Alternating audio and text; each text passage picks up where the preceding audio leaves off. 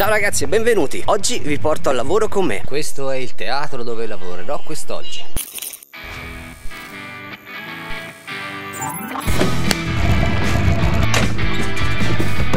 Oggi ho riesumato la mia vecchia GoPro Prova 1, 2, 3, prova. In questi giorni sono a lavorare nei teatri per degli spettacoli di danza e quindi ne approfitto per portarvi un po' con me per farvi vedere che tipo di attrezzature utilizzo. Certo non sono set cinematografici con grandi attrezzature eccetera, però comunque è sempre un, un luogo molto interessante quello del teatro. Poi io comunque ho un rapporto con la danza fin da quando ero ragazzino, pensate che ho cominciato a fare le fotografie nei teatri proprio ai ballerini quando avevo 15 anni. La cosa strana è che comunque non mi sono mai specializzato nella fotografia, nel senso non ho mai scelto di fare il fotografo di professione. Però quando ci sono dei ballerini su un palco all'interno di un teatro mi viene proprio spontaneo andarci a lavorare o cercare di lavorarci, insomma, adoro quell'ambiente, adoro la danza, adoro le ballerine soprattutto, che vabbè, questa è un'altra, un'altra cosa. Quindi vi farò vedere insomma un po' come lavoro, perché anche nel teatro, anche riprendendo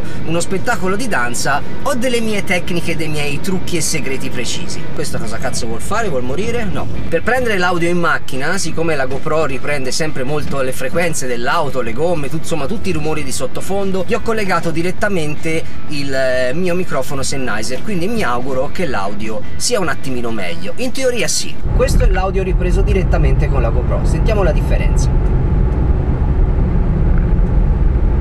Devo essere sincero, ogni volta che accendo la vecchia GoPro mi rendo conto di quanto sia davvero comoda una action cam. Perché con una reflex, un'altra macchina da presa, la GH5 non è materialmente possibile prendere appoggiarla e registrare soprattutto se stai viaggiando in auto. Questa per esempio l'ho appena incastrata nel cruscotto e sta assolutamente facendo il suo porco lavoro. Devo assolutamente comprarmi la 5 assolutamente. Devo dire però che mi mancano un po' di accessori. Ho una clamp qui che ovviamente ho rotto dopo due giorni perché non l'ho comprata originale. Ho trovato molta difficoltà qui nella smartina nella mia macchina eh, per poterla attaccare da qualche parte e poi alla fine ho usato il pianalino che c'è di solito dentro la scatola con sopra collegato alla GoPro e incastrato letteralmente in un pezzo del cruscotto.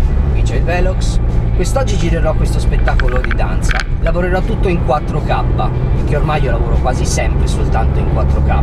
Acquisirò l'immagine con la GH5, però la registrerò in ProRes con l'Atomos Ninja Inferno, che devo dire mi piace veramente tanto, anche se non lo posso ancora sfruttare appieno perché nella mia nuova GH5 ancora non ho inserito il profilo vlog che va acquistato a parte sì, effettivamente la cosa è un po' discutibile su un corpo macchina che costa 2000 euro ancora. Io ancora non sono riuscito a trovarlo, eh, il mio fornitore ancora non ce l'ha e quindi alcune funzioni della GH5, soprattutto in HDMI, sono letteralmente bloccate. E questo mi fa un po' incazzare sinceramente perché Ninja Inferno è nato apposta per la GH5 e fondamentalmente lo sto sfruttando al momento al 70%. Che bello, sono arrivato al teatro, vediamo se c'è posto. Ops, mamma mia, sono mancato veramente poco, sono trovato troppo il cazzo. Io di solito so parcheggiare, ma... Uff, arrivati nel retro del teatro.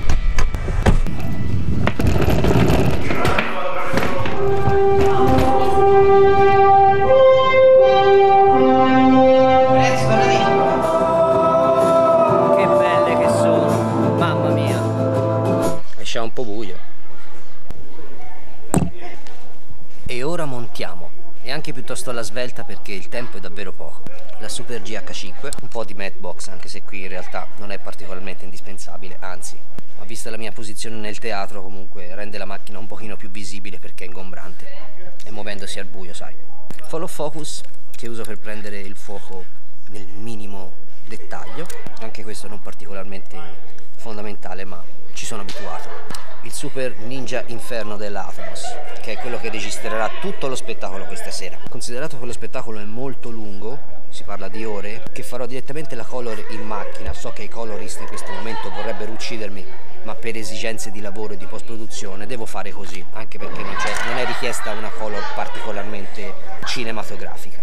Questi pacchi batteria li ho trovati eh, su Amazon, costano circa 45 euro l'uno e devo dire che sono veramente molto buoni, sono i primi battery pack che riescono a lavorare con eh, con l'Atomos non per compatibilità ma semplicemente perché questo vuole tantissima energia e le batterie normali durano pochissimo. Con una batteria di questo riesco a girare più di un'ora dovrebbero garantirmi circa due ore e mezzo di autonomia quindi la durata più o meno di quasi tutto lo spettacolo. Comunque trovate il link in descrizione in caso state cercando dei battery pack belli potenti quello alle mie spalle è il punto dove di solito si mettono gli operatori per riprendere gli spettacoli in questo teatro. Però onestamente a me non piace molto, perché come potete vedere da qua l'inquadratura è molto dall'alto e l'inquadratura dall'alto si utilizza quando si vuole schiacciare il soggetto per togliergli potenza, per creare una drammaticità nella scena. E invece qui si parla di danza, si parla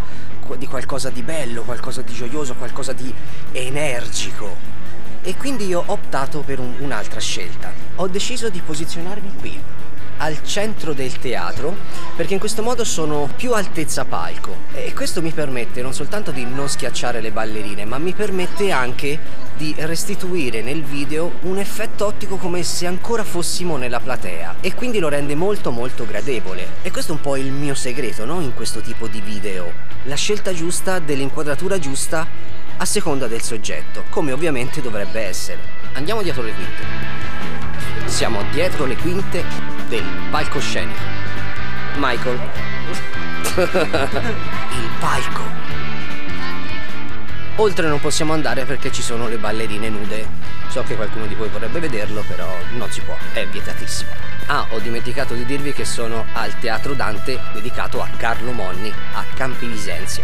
È o non è uno spettacolo? Tanto sta cominciando a riempirsi piano piano tutta la platea e tra poco sarà impossibile praticamente registrare perché ci sarà troppo casino.